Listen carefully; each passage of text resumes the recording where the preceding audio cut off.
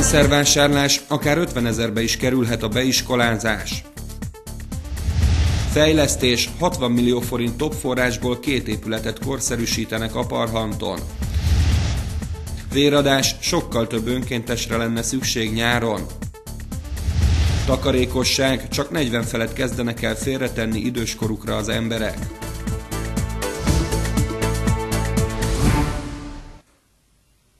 A Tolnatáj Televízió híradóját látják, köszöntöm Önöket!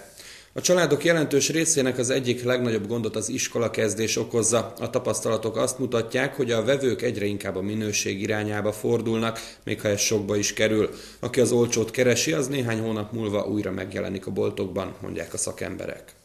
Emma elsőbe készül. Mint minden iskolába készülőt, őt is csábítják a színes füzetek, és jó érzékkel mindenből a legdrágábbat szeretni.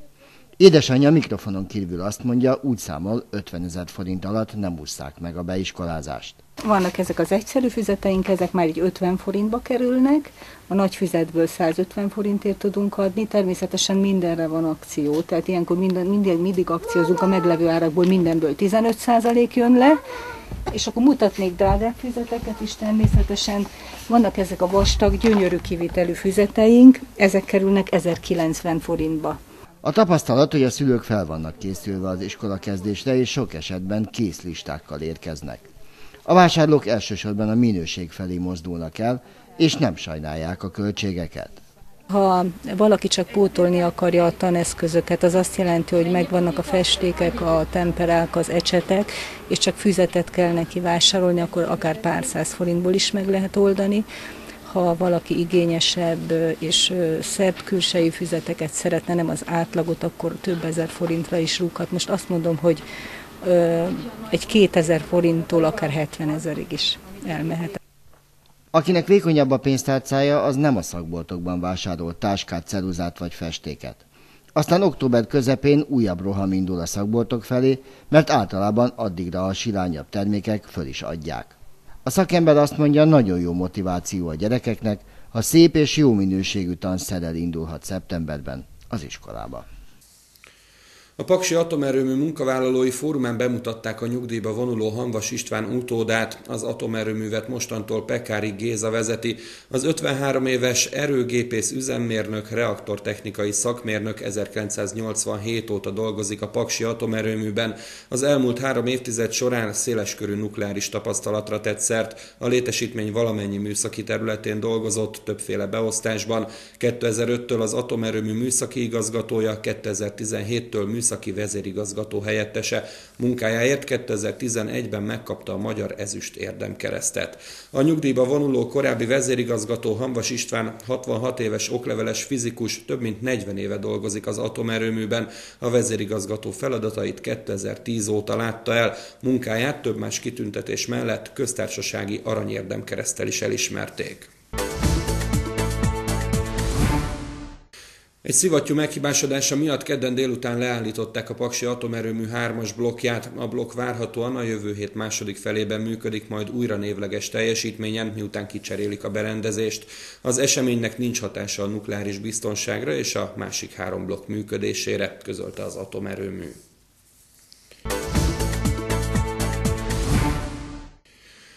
Szerdai kezdettel tartósan vízhiányos időszakot állapított meg Pintér Sándor belügyminiszter. A közlemény szerint a belügyminiszter a vízgazdálkodásról szóló törvény alapján az ország egészére vonatkozó vízhiány megállapításánál a mezőgazdasági művelésre használt talaj vízháztartási adatait és a hidrometeorológiai előrejelzéseket vette figyelembe. Ilyen időszakban a gazdálkodóknak nem kell vízkészletjárulékot fizetniük az öntözési, hallgazdálkodási és rizstermelési vízhasználatásra használat után. Visszavonták a hőség miatt július 29-én életbe léptetett vöröskód figyelmeztetést. Rendkívüli hőség idején elrendelt vöröskód esetén többek között tájékoztatást kell adni arról, hogy hol található nyitva lévő klimatizált helyiség. Emellett azt is közölni kell, hogy hol ingyenesen biztosított vízosztási hely, valamint párakapu. Szükség esetén meg kell szervezni azt is, hogy az utcán élők az érintett helyekre el is tudjanak jutni utcai gondozószolgálatok, illetve krízisautók bevonásával.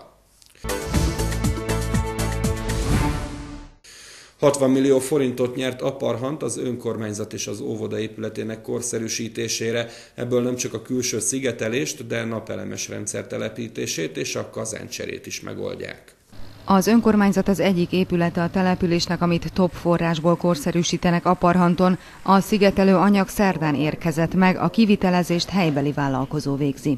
Nyilázáró, külső szigetelés, ez az épület kap egy napelemes, 5 kW-os napelemes áram fejlesztő dolgot, amivel az önkormányzat egy kicsit úgy gondolom tud spórolni. Amit a jövőben nem a fűtésre költenek, abból járdákat, köztereket lehet újítani, rendbe tenni. A település fejlesztési operatív program keretében 60 millió forintot nyert Aparhant az önkormányzat és az óvoda épületeinek rendbetételére. Ezt a két helységre költjük, úgyhogy mindenhol kazáncsere, nyílázáró és a külső szigetelés az egy 15 cm-es külső szigetelés lesz rárakva. A tetőszerkezet cseréjére már nem jut, azt egy későbbi pályázat keretében próbálják felújítani. A korszerűsítés szeptember közepén kezdődik a tervek szerint. Ezen kívül lider pályázatban a falu szabadidő parkjában kültéri sporteszközöket kívánnak még telepíteni a közeljövőben.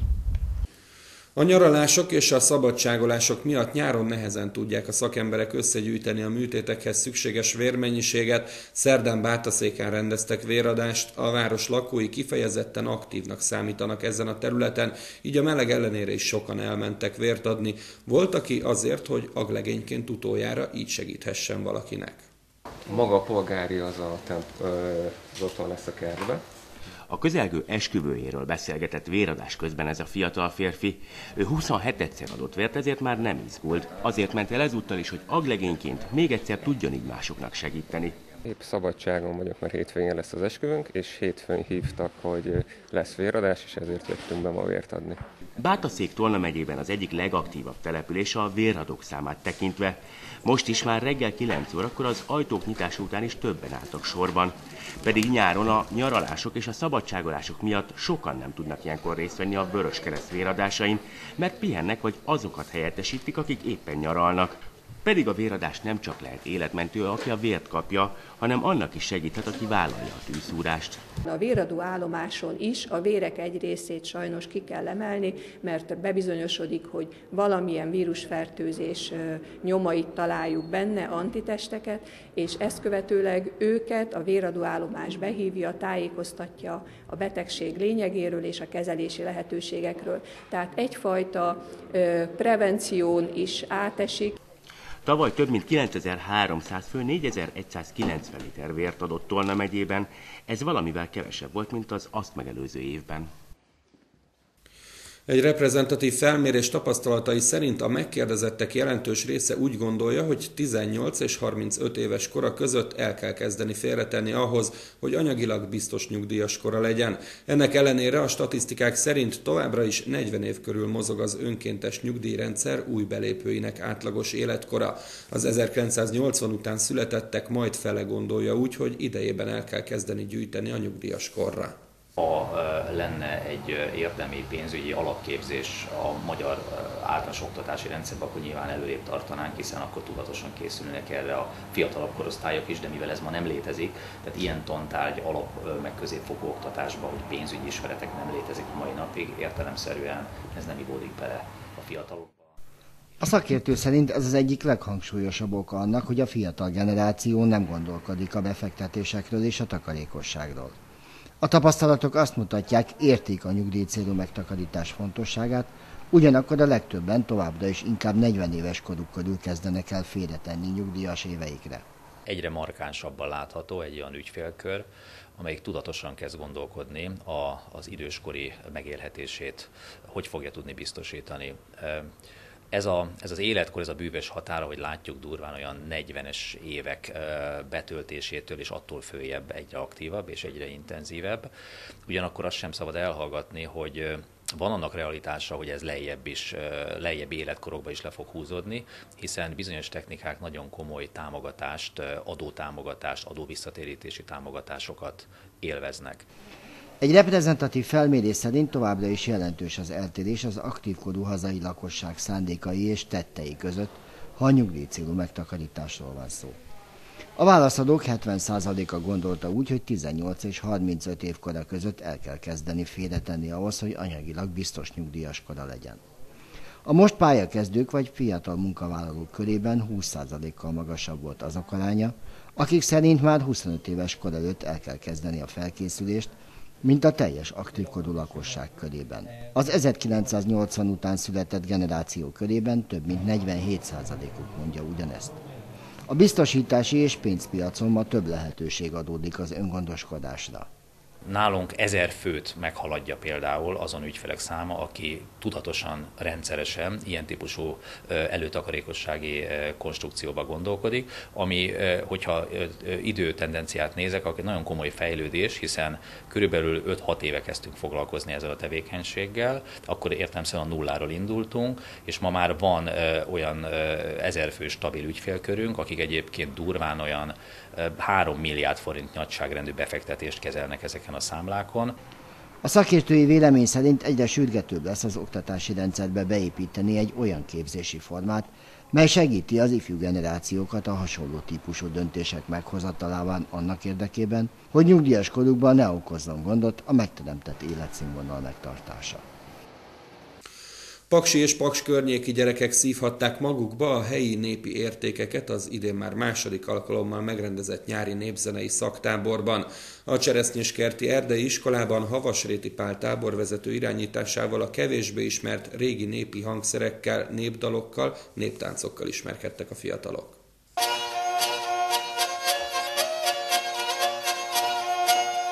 Nagy Benedek tekerőlantján játszott nekünk. Ez kedvenc hangszere, mely az egyik legrégebbi népi hangszer. De ezen kívül citera, nagybögő, népi kétfenekű dob, hegedű is megszólal. Minden nap a közös zenélések alkalmával a Cseresznyéskert Erdei iskolában, mely ezen a héten a népzenétől hangos. A helyi dalokat tanuljuk, Madocsa és környéke, illetve idején a szebényi népdalból válogattunk, egy nagyszerű kiadvány, abból választottunk ki 11 dalt, amit éppen most a második napja tanulunk. A Pro Artist művészeti iskola növendékei idén is neves oktatókkal körbevéve dolgoznak a magyar népzenei értékek ápolásán. Esténként pedig táncházakat szervezve közösen énekelnek, zenélnek, táncolnak.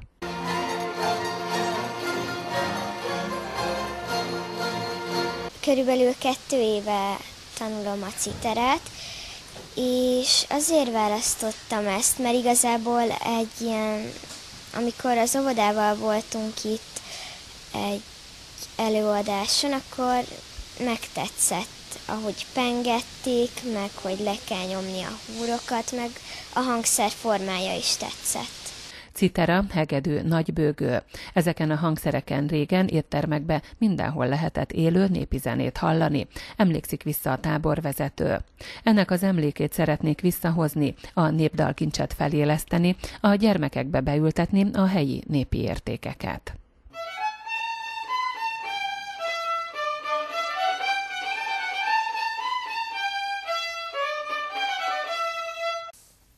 Regionális híreink következnek.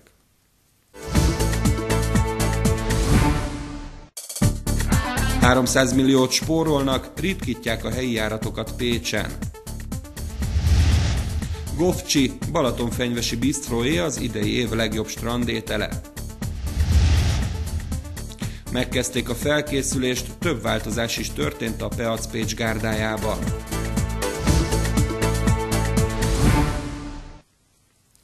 Új buszmenetrend lép életbe Pécsen szeptember 3-ától ritkítja a járatokat az önkormányzat, hiszen a felmérések szerint egyes vonalakon szinte üres buszok járták a köröket bizonyos időszakokban. A változtatás miatt nem lesz zsúfoltság ősztől még a reggeli csúcsban sem, mondja a szakember. Az új menetrend 300 millióval olcsóbb szolgáltatást jelent Pécsnek. Egy helyi járatú busz hajt ki a megállóból a Siklósi úton. Jól látszik, hogy a belvárosba tartó jármű sok utas szállít, mégis mindenki elfér. Éppen ez a célja a Pécsi menetrend szeptemberi módosításának. Ebben bizonyos időszakokban kevesebb járat indul majd. A legtöbb vonalon, amikor alacsonyabb az utasforgalom, nem olyanok a járatok kihasználtságai, nem olyan számokat mutatnak, akkor ritkábban járnak. Ezt úgy kell elképzelni, hogy, hogy ahol eddig délelőtt 20 percenként jártak, ott egy után ritkábban 30 percenként járnak, a felmérés számai alapján megállapítható, hogy kapacitás probléma nem lesz, zsúfoltság nem lesz, tehát a, továbbra is a, a, az utazás biztosítva lesz. Igaz ez az iskolai szezonra is. A megnövekedett őszi utasforgalmat tudja majd kezelni az új rendszer, mondja a szakember. A reggeli csúcsidőszakban nagyon minimális a változás, hogy itt azt tapasztaltuk, hogy, hogy megfelelő járatok kihasználtsága. A délitáni időszakban volt egy kisebb mozgástér, ott történt még egy optimalizáció, de így összességében üzemszinten a munkanapokon a 10%-ot sem éri el az indított járatok számának a változása csökkenése. Szeptember 3-ától lesz érvényben az új menetrend, amit hétfőn fogadott el a város szakbizottsága. Április óta mérték fel a helyi autóbusz igényeket, kihasználtságot a szakemberek. A tapasztalatok alapján állították össze az új Pécsi menetrendet, ami kevesebb járatot jelent. Ez évente 300 millió forint megtakarítást hoz az önkormányzatnak a számítások szerint. Pécsen a helyi autóbusz szolgáltatás közel 2 milliárd forintjába kerül a városnak évente. Idén is kiválasztották az év legjobb strandételét, amely 2018-ban a Gofcsi névre keresztelt dödölére emlékeztető tejfölhabos étel lett, megszórva egy kis kecske sajtal, parmezánnal, kacsapörccel és rukkola salátával. A zsűrinek évről évre nehezebb dolga van, hiszen a mezőny minden esztendőben egyre erősebb. Rátesszük a mozsolos kecskesajtot, aztán ráteszünk egy kis reszelt sajtot, egy kis paradicsomot, ezen kívül jöhet még rá egy kis kacsapörc, kolbászmorzsa, rukola, no meg a tejfölhab. Pár percre vissza a sütőbe, hogy a sajtok megolvadjanak, és már kész is az idei év legjobb strandétele, a gofcsi. Nagyon szeretik, nem régóta van ugye, hogy tudják ezt a dolgot, hogy mi nyertük meg, de már nagyon szeretik. Meg volt egyszer egy borkostolóba betettük az egyik elemként, és már akkor is szerették. Az idei megmérettetésre öt helyről neveztek különféle ételekkel. A zsűrinek nem volt könnyű dolga, hiszen olyan ételek versenyeztek még a gofcsi mellett, mint például a lángos nuggets, velőspirítós, vagy éppen a togdog. A szempontrendszer az nagyon egyszerű. Először is készüljön el gyorsan, legyen friss, legyen helyi, legyen benne valami kis csavar. Nekem nagyon tetszik az, hogyha nem fekszünk be a nagy nemzetközi világtrendeknek, hanem ezt átszűrjük magunkon, a saját személyiségünkön, abból a személyiségünkből, aminek a fonalát itt szőtték a, párkák, és ebből egy ilyen jellegzetesen balatoni étel tud kikerekedni, mint ahogy az eddigi győztesek is ilyenek voltak. Ilyen lett a Govcsi, és sehol máshol csak a Balatonon, és azt gondolom, hogy ez iránymutató és trend alakító lehet a jövőben. A szervezők és a versenyzők is abban bíznak, hogy jövőre még több strandétel kerül majd terítékre, még többen döntenek úgy, hogy előállnak valami egyedivel, ami helyi alapanyagból készül, és főként balatoni. A hatodik Balaton szárszói alkotók napján bárki előcsalogathatta magából a szunnyadó művészt, kipróbálhatta magát a táncban, de festészetben is, sőt a résztvevők magát a Balatont is belecsempészték a képekbe. Testi-lelki ráhangolódással vette kezdetét a hatodik Alkotók Napja Balaton szárszón. A Tóparti Parkban gyűltek össze az érdeklődők, ahol relaxációs táncórán tapasztalhatták meg a természetközeli mozgás élményét akik részt vettek a foglalkozásban, felfrissülten és alkotásra hangolódva távoztak. A hatodik alkotók napján lehetőség nyílt különböző technikák kipróbálására, ilyen volt az akvarell is. Mai nap ez egy kicsi experiment van, azért, hogy én nem tudom ki fog menni. Általában mi csinálunk a workshop, vagy festes bemutató, és jönnek emberek, aki tud mi az akvarell. És most mi várunk emberek, csak aki itt sétál. Ezúttal bárki ecsetet ragadhatott, és a festéshez a Balaton vizét is felhasználták az alkotók. A hangulata teljesen más, egy még nagyobb kötődést ad a, a vízhez, és a környezetünkkel jobban összekapcsolódunk.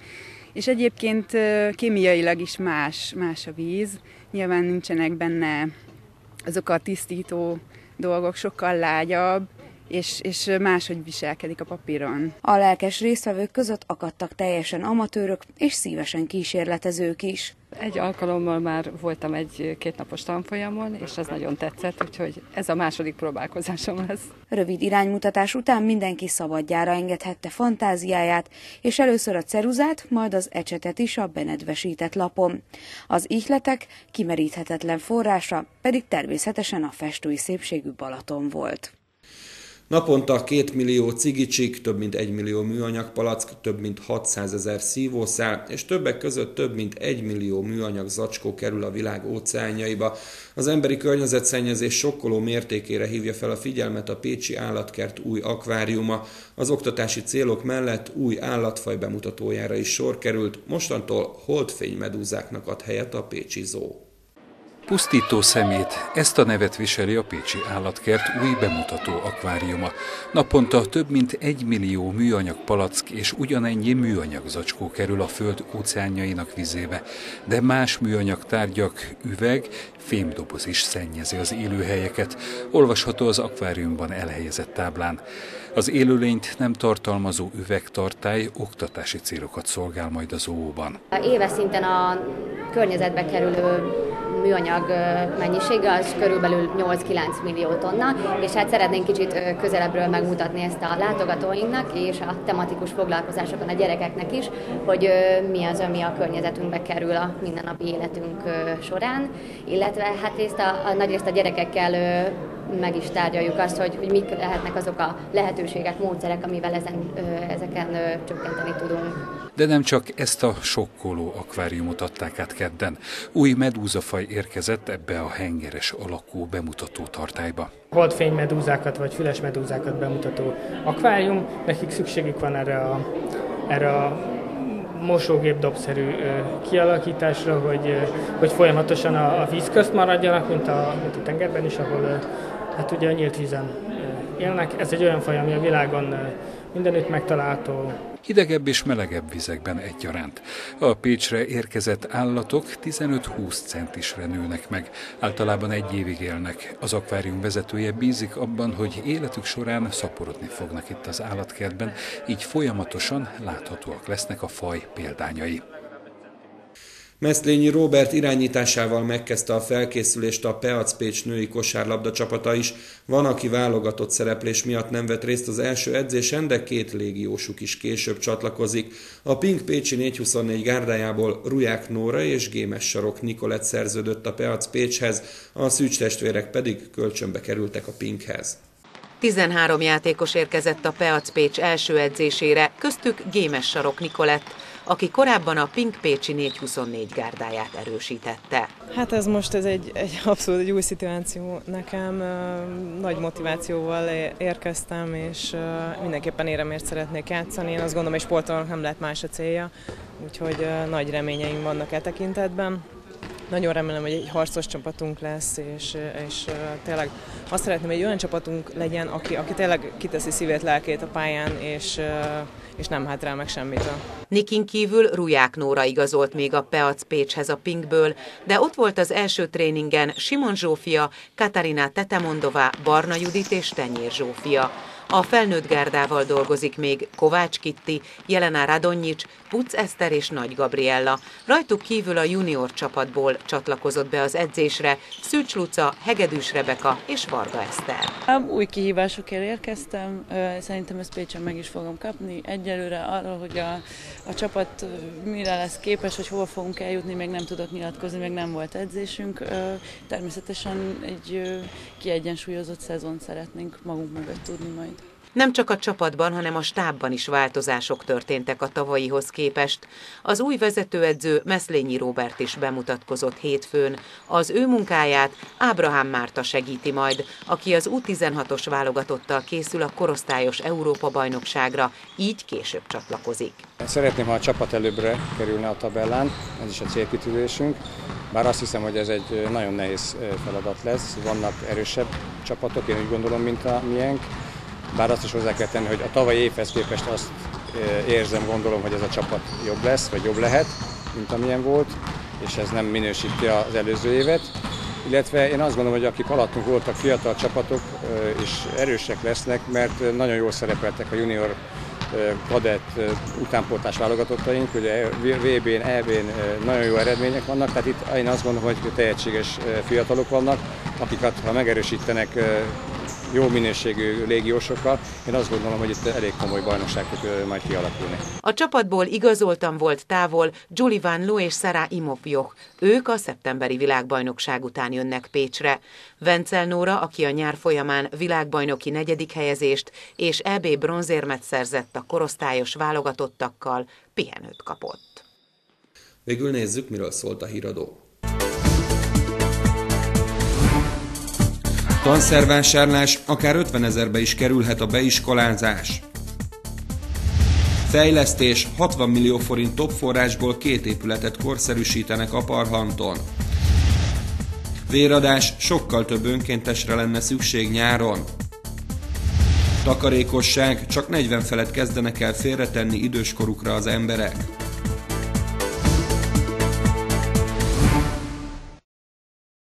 Csütörtökön a reggeli párásság hamar eloszlik, változóan napos, meleg, kisé füllet idő alakul ki, helyenként és időnként gyenge felhősödés, fátyol felhőzet zavarhatja a napsütést, jelentős csapadék nem valószínű. Már köszönöm figyelmüket, friss hírekkel legközelebb csütörtökön este jelentkezünk. Addig is keressenek minket a Facebookon, ahol naponta friss hírekkel, érdekességekkel várjuk Önöket. Ha látnak valamit, ami mások figyelmét is felkeltheti, akkor készítsenek fotót vagy videót, és küldjék el a képernyőn látható elérhetőségek valamelyikére. Viszontlátásra!